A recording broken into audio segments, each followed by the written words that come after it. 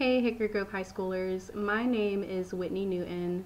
You guys have probably all heard about the Connect groups that the school had started last week. Um, since I'm the group facilitator, I just wanted to take a moment to introduce myself to you as well as explain the purpose and the heart behind the groups, just to kind of set some realistic expectations um, about what will be happening in the groups and how they can be of benefit to you. So to introduce myself, my name um, is Whitney Newton. I am a counselor at Hickory Grove Baptist Church. Um, I have my master's degree in clinical mental health counseling, and I'm really passionate about journeying with people through really dark times um, and supporting them through that time. We all need support um, at one point or another in our lives. So, COVID 19 is the crisis of 2020 that all of us are experiencing. Um, some of us are coping with it well, some of us are not coping with it so well. Um, so these groups were created because we want to provide support to anyone who needs it. Uh, the groups are not counseling groups, um, but they are more informal. They're supposed to be more uh, social than maybe you would get in a classroom setting.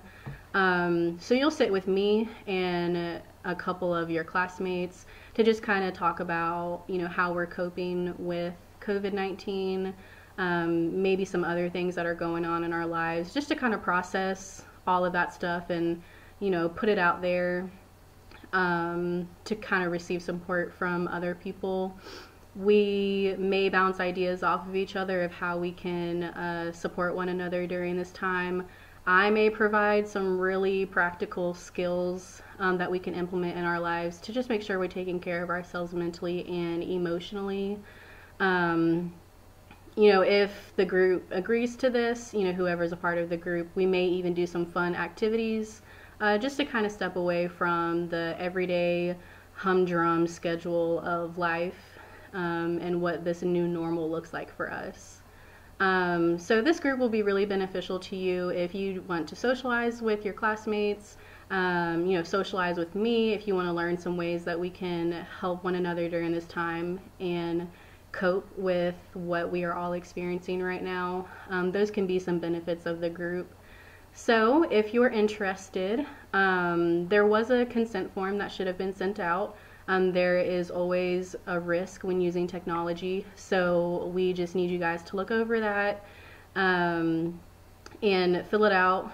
Uh, have your guardian sign it, look over it, send it back to um, Hickory Grove Christian School, um, and then from there you should receive a link to uh, whichever group you'll be placed in. It's based off of grade um, yeah, so those are some next steps if you guys are interested. And that's all I have.